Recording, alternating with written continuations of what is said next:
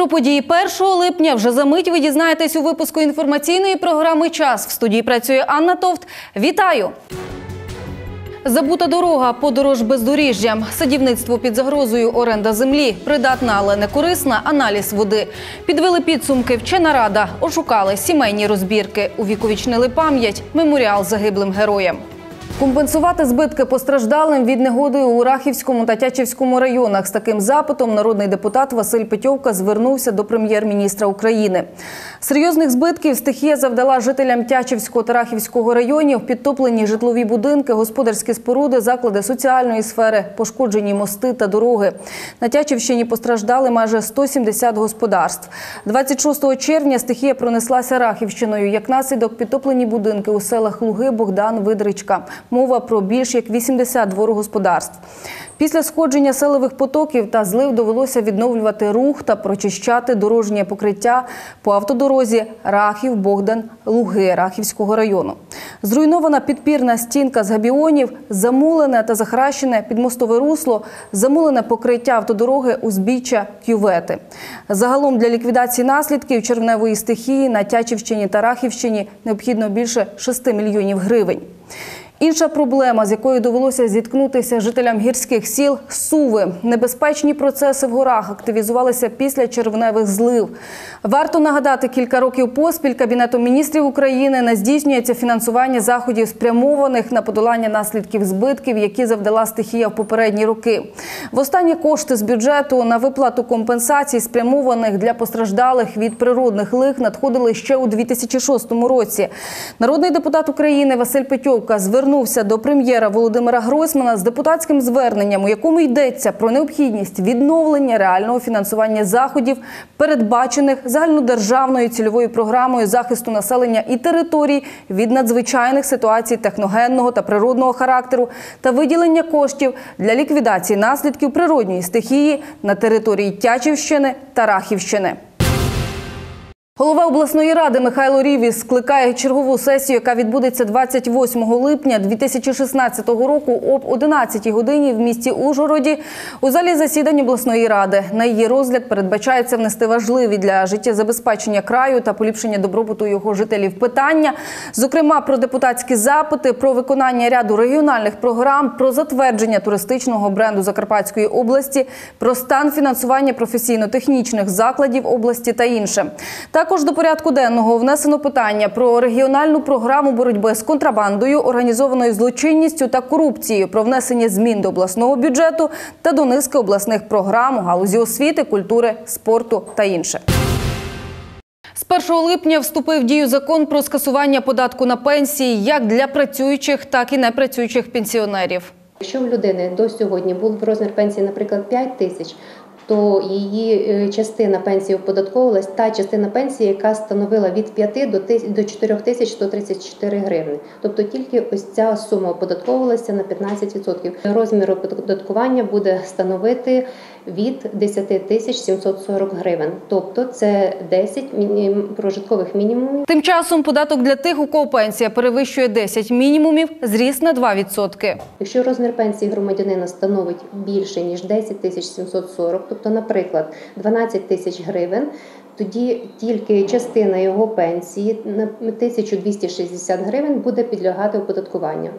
Ми будемо брати 1260 гривень, множити на 18%, і ця сума, яка буде складати, наприклад, 226 гривень 80 копійок, тільки буде йти розмір пенсії на зменшення.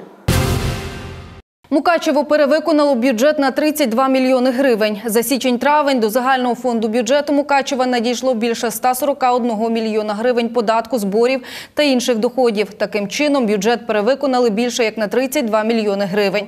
Виконання становить 132%. У порівнянні до аналогічного періоду минулого року надходження зросли більше ніж на 53 мільйони гривень або на 59,9%.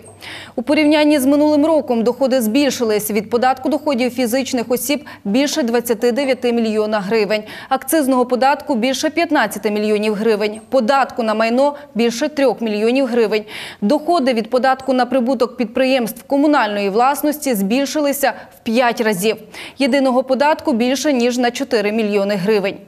Найбільшими платниками податків Мукачева, які наповнюють бюджет, залишаються підприємства Фішер, Флекстронікс, великі заводи Точприлад, Еномеблі та ряд інших, завдяки яким вдається перевиконувати надходження. Найбільшими е, платниками, що забезпечують надходження податку з доходів фізичних осіб, є філія Львівська залізниця, питома вага в обсязі надходжень податку з доходів фізичних осіб займає 15% від цього підприємства. Товариство Фішер Мукачево ЛТД 8,2%.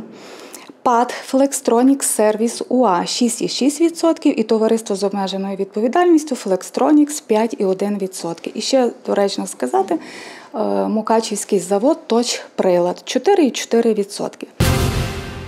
Австрійці за 92 мільйони гривень ремонтуватимуть дороги на Закарпатті. Служба автомобільних доріг у Закарпатській області 6 і 22 червня уклала угоди з ТОВ «САД Україна» про поточний середній ремонт автодоріг державного значення на суму 92 мільйони 31 тисячу гривень. Про це повідомляється у віснику державних закупівель. Частково відремонтують трасу Вилок-Дяково, Київ-Чоп, Мукачево-Львів. Роботи виконають до кінця 2017 року. Уже зовсім скоро Колочаву та німецьку мокру сполучатиме нова дорога. Роботи добігають свого завершення і наразі триває профілювання поверхні та облаштування додаткових інженерних споруд на всій протяжності шляху. Цей майже п'ятикілометровий відрізок – неабияке полегшення для тутешніх, яким раніше доводилось долати зайвих 100 кілометрів, аби дістатися рідних. Проте далі мова піде саме про об'їзний шлях та його критичний стан. Попри те, що між районами триває будівництво дороги, аварійним залишається ключовий напрямок Колочава Хуст через Вільшани. Тут дорогу не ремонтували щонайменше 15 років, а їздити тут важче ніж на танкодромі. Звістка, що в скорому часі два віддалені райони будуть сполучені між собою, неабияк порадувала тутешніх жителів. Проте центральна дорога, якою щодня користуються тисячі місцевих, ніби випала з контексту інфраструктурного вирішення транспортної проблеми. Люди нарікають, що пересуватися шляхом стає дедалі важче. Тяжко їх. У місцевих просто не витримують нерви. Що вже казати про автовласників, які з кишені щоразу витрачають по кілька тисяч гривень на ремонт ходової частини та заміну покришок. Ми кожен день їдемо, ходова се розбива, все се розбива. Хто нам гроші буде платити за техніку? А платимо. Люди нарікають, чиновникам байдуже на їхню біду. Асфальту як не було, так він відсутній і зараз. Того року мало привезли, засипали шутром таким. Хотіли, а далі пішов дощ, сніг і не встигли. Усе так з Драгова починають, до Драгова дійдуть, ремонтують дорогу. А до Вольшану все ся встаємо так у прольоті. Та от на другий рік. Другий рік тепер ся почав оп'ять не. А ще місцевих турбує те, що вони не можуть в повній мірі реалізувати власні плани щодо розвитку тутешнього туристичного потенціалу. Природа є, мальовничі пейзажі теж присутні, а от показати їх іншим неможливо. Гості просто відмовляються їздити вбитою часом дорогою. Дороги дуже погані в нас. І туристи до нас не будуть їхати, якщо не буде нормальна дорога, я так вважаю. А туристи сюди їздять. Ni isto na perevali koloploten, eh, ljudi, turisti, Čehi, pa, pa tudi z velosipedom. Ті, хто ж наважиться кинути виклик бездоріжжю, чекає несамовита подорож з гойдалкою і постійним ризиком втратити колеса. Якийсь десяток кілометрів від Вільшан до Колочави забере чимало часу і власних нервів, тому цей маршрут такий непопулярний. А побачити тут і справді є що, чого вартий тільки штучний водоспад на Теребле-Ріцький ГЕС та Карпатське море. Втім, як то кажуть, час на виправлення ще в запасі, адже Закарпаття, як і Україна загалом, готується до масштабного капітального ремонту доріг, анонсованого прем'єром Гройсманом. Втім, чи докотиться неспішний асфальтоукладник аж сюди, питання залишається відкритим. Щодня сотні автомобілістів ризикують життям, перетинаючи аварійний міст у селищі Буштино. Споруда працює вже близько 70 років, той час як безпечною вважається лише перші 50. Задля вирішення цієї проблеми влада села звернулася за підтримкою до обласної ради, однак відповіді на запит так і не почули. На в другій половині 2015 року зробили ну якби капітальний ремонт цього моста, але все рівно я мені здається, що це ненадовго, тому що десь не десь вже появляються е, у мості вибоїни. 15 червня ми також написали листа пану Рівісу е, в обласну раду, але відповіді на сьогодні ще не дістали. Що яка доля моста цього ми ну, нам невідомо наразі. Садівництво під загрозою. Згідно із зверненням Держгеокадастру в Києві, обласним управлінням рекомендовано не заключати договори на оренду землі під садівництво більше як на 7 років. Члени асоціації «Укрсадпром» відправили звернення, адресоване керівникам Держгеокадастру України з проханням вплинути на ситуацію. Садоводи переконані, так роблять, аби побільше здерти грошей. Звісно ж, неофіційно. Тривалий час пан Роман займається садівництвом, вирощує яблуневі культури різноманітними методами. Сад чоловіка сьогодні має площу у 10 гектарів і думав розширяти садовий бізнес, проте каже, тільки палиці в колеса. В першу чергу, звісно, земельні різні питання, перипетії, які ну, не зовсім, е, я б сказав, е, відкориговані. Це стосується і питання власності. От. Воно, як ви знаєте, це загальновідомо, що е, з цим мораторієм, не мораторієм, тобто воно висить це питання у повітрі, не врегульовані е, питання оренди. Аби насадити новий сад, пану Роману щонайменше потрібна земля. Придбати її чоловік наразі можливості немає. Хотів орендувати, а сенсу не бачить. З його слів, в обласному держгеокадастрі отримали рекомендації при укладенні договорів оренди земельних ділянок сільськогосподарського призначення державної власності встановлювати строк дії договору оренди земельних ділянок не більше як на 7 років. І тут парадокс, адже банальні рекомендації в області стали закономірністю. Такі справи означають крах садівництва, кажуть фермери, адже плодоносити дерева починають аж через 5 років. Навіть 7 років це є мало, тому що е, досить довгий е, період е, сам технічний, кажу, інвестиційний. Тобто за 7 років ви не зможете нічого ні повернути, ні, ні створити, тому що ну, дуже багато роботи є, дуже багато треба вкладати коштів. Як виявляється, не тільки пан Роман зіткнувся із такими рекомендаціями кадастру. Добре знає про них і голова асоціації Укрсадпром. Держгеокадастр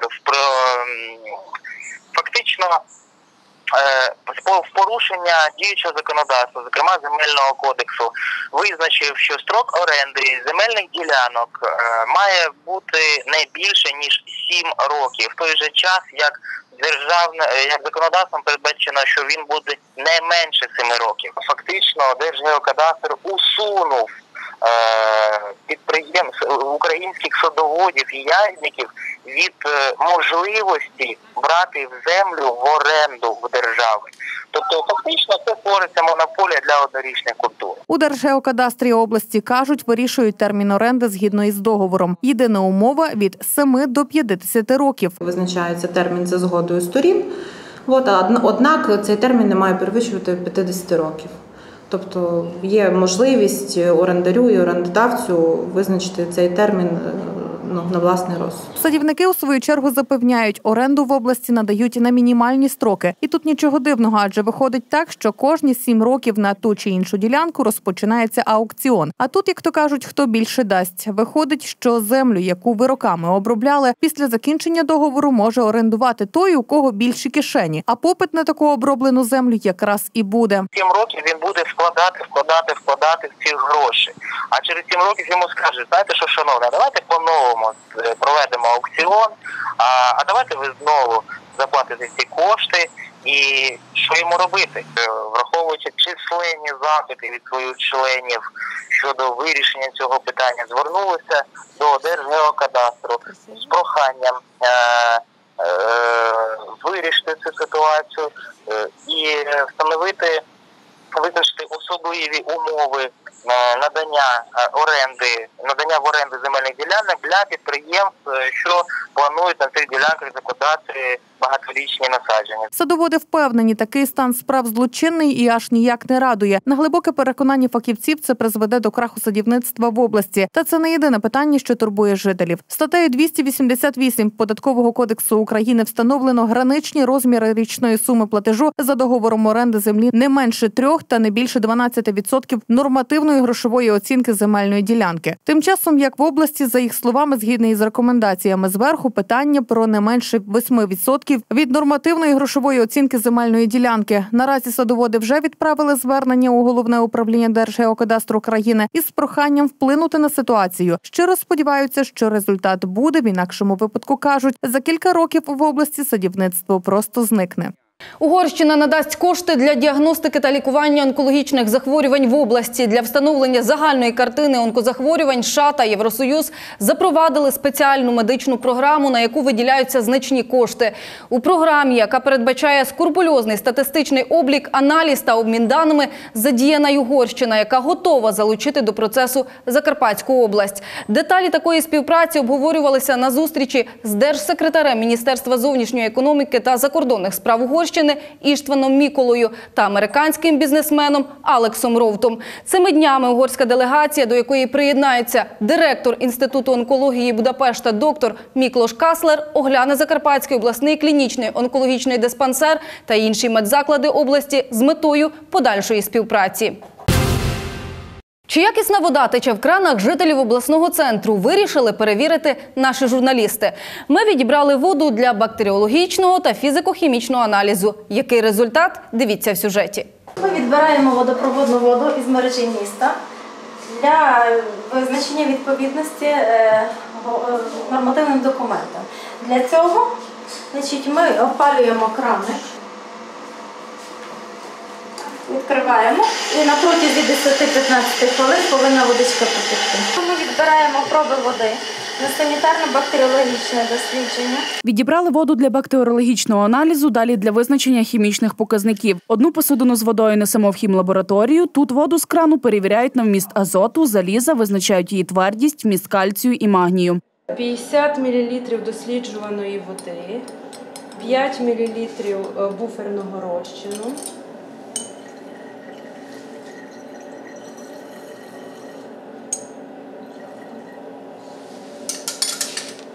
І що це не визначає? Це твердість.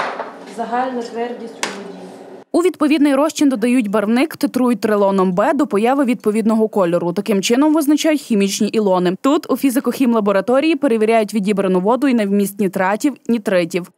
Ну, нітратів у воді норма 50 мг на дециметр кубічний.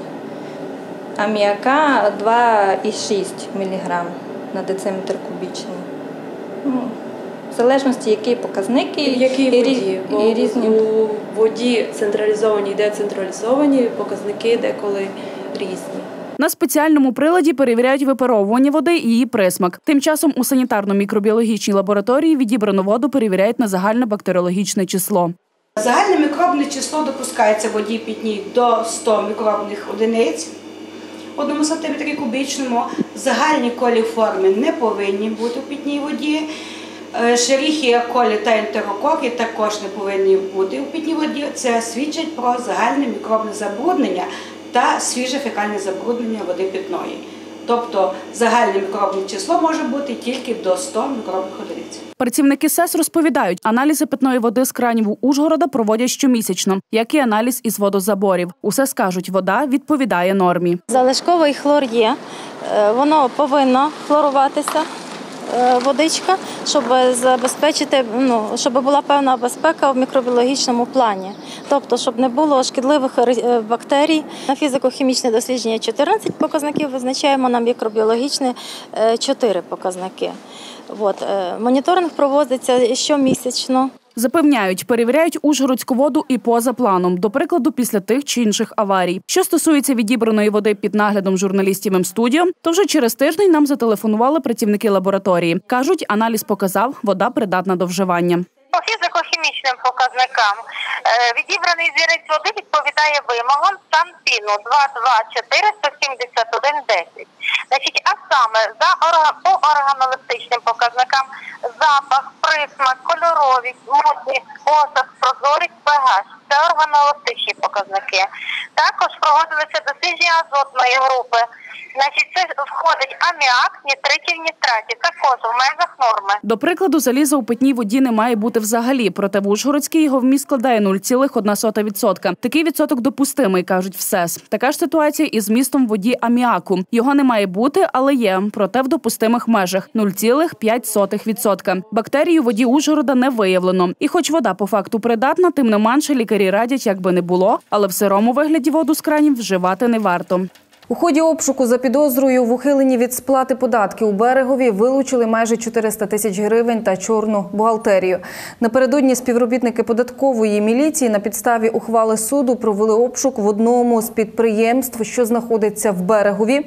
Слідчі дії проводились в рамках розслідування кримінального провадження за частиною 2 статті 212 Кримінального кодексу України, що карається штрафом від 500 до 2000 неоподаткованих мінімумів доходів громадян або виправними роботами на строк до двох років, або обмеженням волі на строк до п'яти років з позбавленням права обіймати певні посади чи займатися певною діяльністю на строк до трьох років.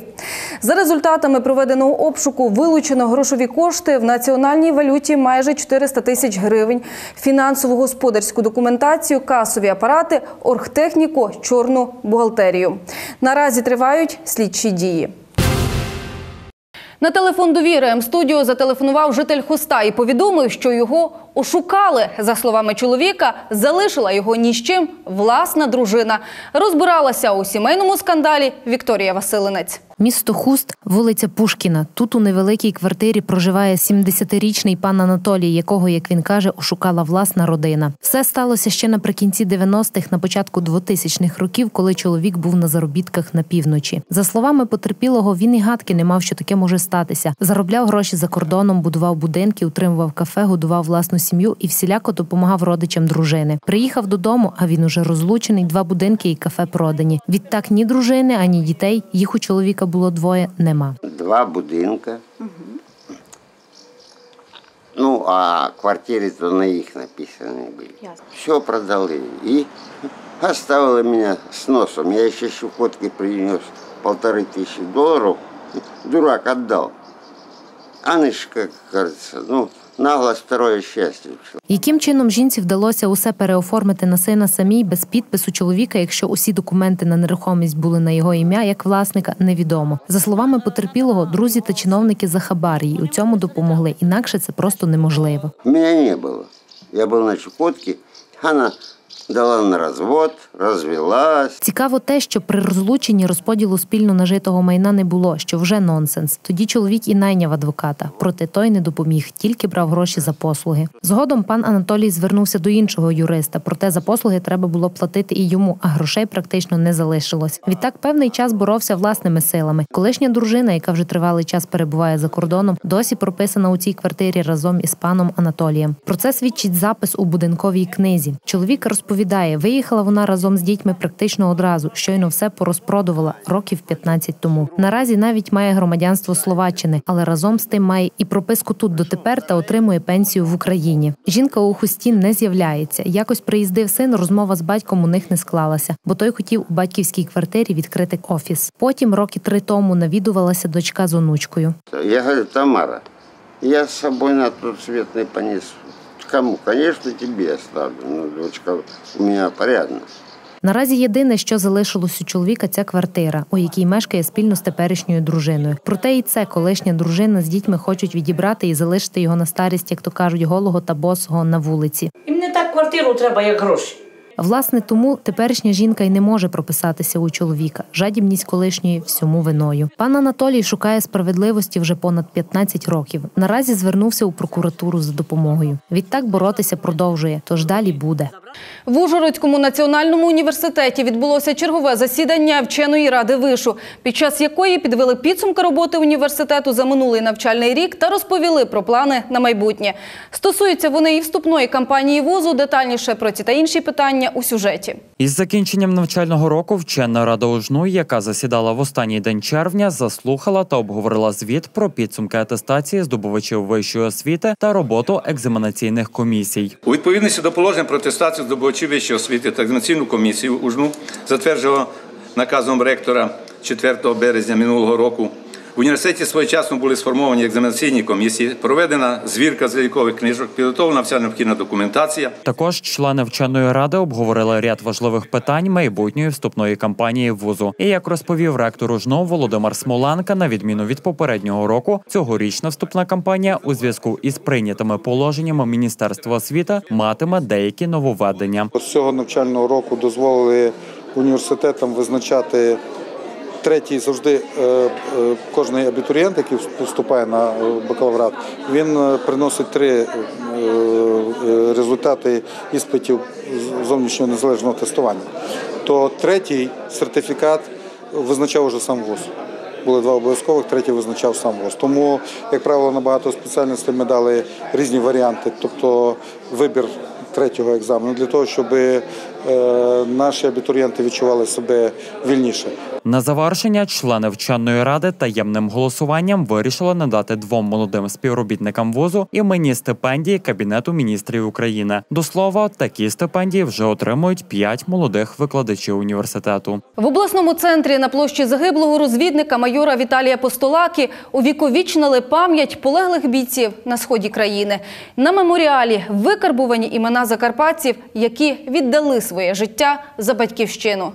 У день відзначення Конституції України в обласному центрі урочисто відкрили меморіал полеглим у війні на сході України закарпатським військовослужбовцям. На площі імені майора Віталія Постолаки відтепер стоятиме гранітна стела, створена за кошти громадських організацій та небайдужих.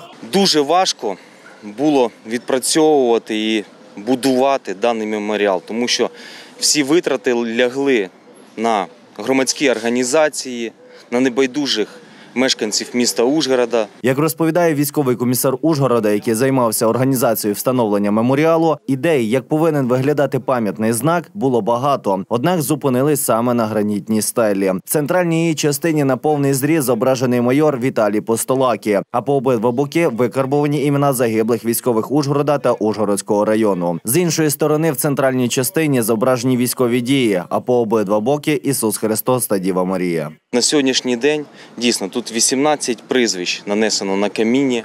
Це мешканці міста Ужгорода, Ужгородського району, міста Чопа та і мій бойовий побратим майор Шуліков Сергій Вікторович, який похований в місті Житомирі на на геройському кладбищі. Розпочали урочисте відкриття меморіалу з підняттям державного прапора під гімн України. Далі священнослужителі різних конфесій освятили гранітну стелу та помолились за загиблими військовослужбовцями. українців, що віддали свої життя у боротьбі за національну і державну незалежність України.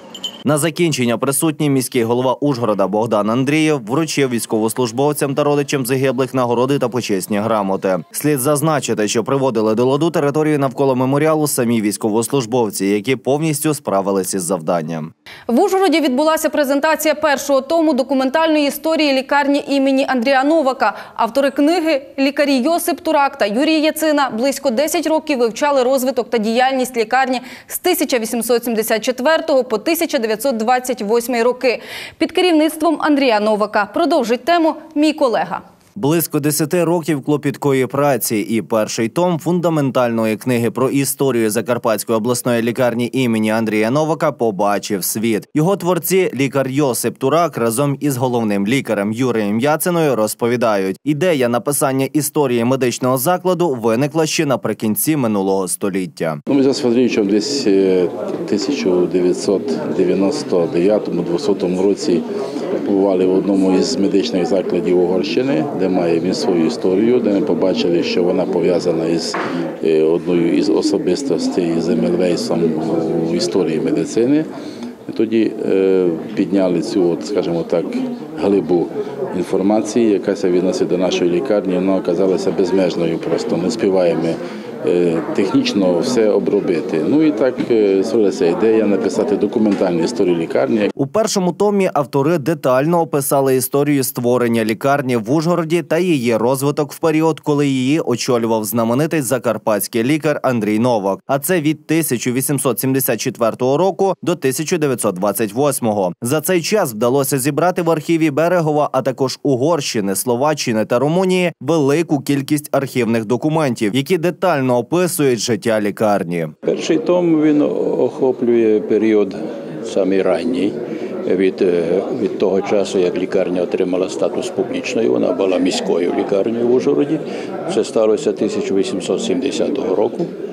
Е, Тоді була заснована як публічна міською владою.